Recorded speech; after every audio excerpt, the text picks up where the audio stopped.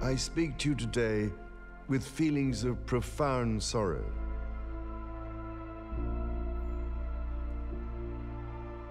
And so the reign of Elizabeth II comes to a close after 70 years at the age of 96. She helped preserve the Charles institution of the monarchy during times of massive social change. In 1947, on her 21st birthday, she pledged in a broadcast from Cape Town to the Commonwealth to devote her life, whether, it be long or short, long, to shall the be devoted to your people. service and to the service of our great imperial family to which we all belong.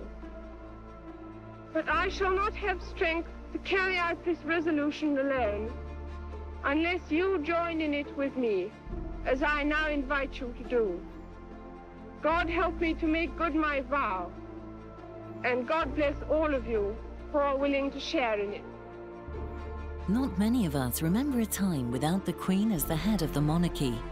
Her Majesty Queen Elizabeth II was at the helm of the kingdom for more than 70 years. Now, as the Commonwealth enters a new era with a new monarch, there is no doubt in everyone's mind that the new king is well suited to take up the crown. After all, Charles has spent his entire life waiting for it. I think he'll be a compassionate king. You know, I think he's somebody that's he's always thinking of, of kind of others and he's very keen about the environment.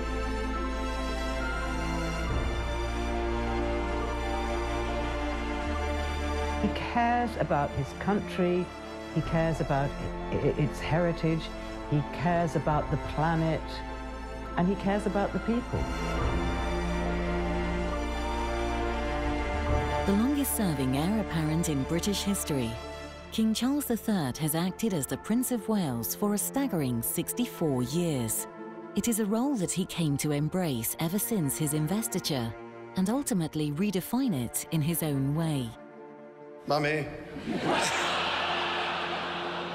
While Charles's reign as king is overshadowed by that of his mother, his legacy as Prince of Wales is no less than historic and remains utterly memorable.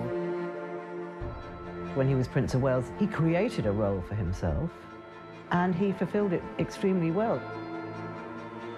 As the role passes on to his son, the world remains on standby to see how Prince William will take on his new title and live up to his father's accomplishments. This is the legacy of the Prince of Wales.